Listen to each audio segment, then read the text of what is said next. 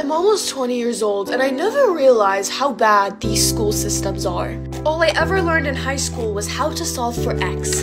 We also learned the powerhouse of the cell is the mitochondria, of course. They give us three tests per week, five homeworks, two essays to write, and a project, and they still tell us, have fun in your life.